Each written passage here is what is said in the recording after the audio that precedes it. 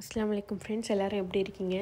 இந்த வீடியோ பார்த்தீங்கன்னா நம்ம ரொம்ப நாளாக அப்லோட் பண்ணணும்னு நினச்சிட்டு இருந்த தஞ்சிலாவோட பர்த்டே வீடியோ தான் இது. பர்த்டேன்னு சொல்லிட்டு தஞ்சிலாவோட அதாவது அண்ணன் ஒய்ஃப் எல்லாம் வந்திருந்தாங்க மச்சி வந்திருந்தாங்க ஊர்லேருந்து. அந்த பிள்ளைங்க கூட தான் தஞ்சிலா ஃபுல்லாக விளாண்டுட்டு இருந்தா. அவளோட மச்சான் மச்சி கூட தான் ஒரே அஞ்சாறு நாளாக ஒரே பிஸியாக இருந்தா. அந்த கிளிப் தான் இப்போ நீங்கள் பார்க்குறீங்க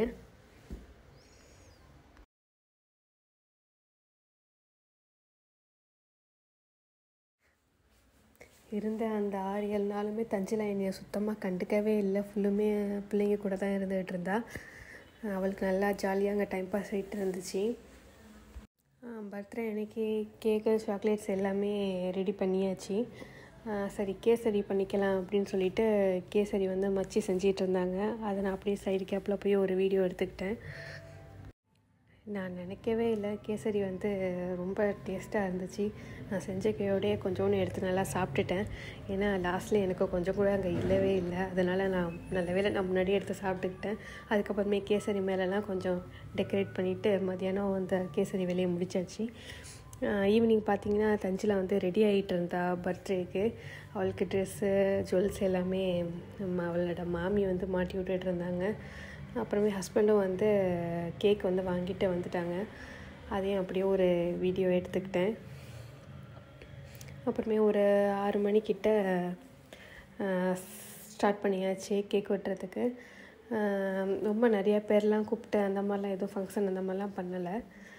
வந்து என்னோடய மாமியார் வீட்லேயும் என்னோடய மாமி வீட்லேயும் மட்டும் கூப்பிட்டு ஃபங்க்ஷன் வந்து முடிச்சிட்டோம்.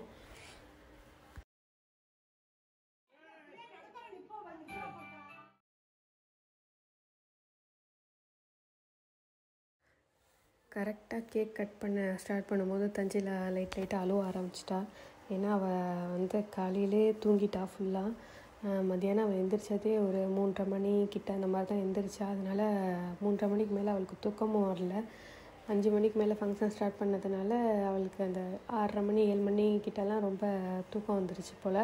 அதனால் அவள் ரொம்ப அழுவ ஆரம்பிச்சிட்டா.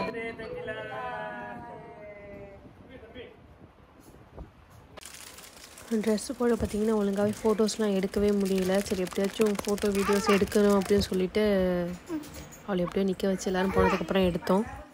ஃபஸ்ட்டு எல்லாருமே கிளம்புனதுக்கு அப்புறமே அவளோட ஜுவல்ஸ் எல்லாத்தையும் கழட்டிட்டு க ஜஸ்ட்டு சிம்பிளாக விட்டாச்சு.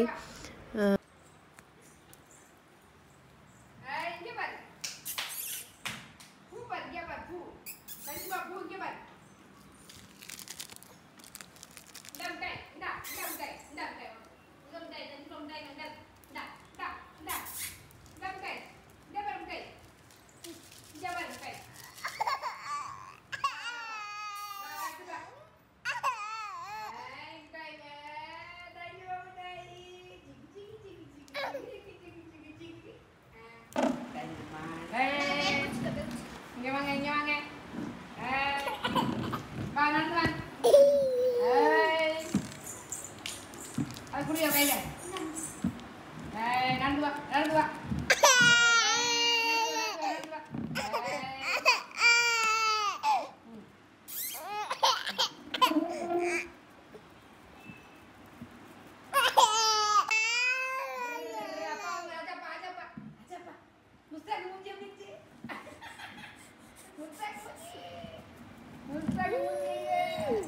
அப்புறமே பார்த்தீங்கன்னா தஞ்சில் ரொம்ப அழுவ ஆரம்பிச்சிட்டா. அதனால் ட்ரெஸ்லாம் ரிமூவ் பண்ணிவிட்டு ஃப்ரீயாக விட்டாச்சு.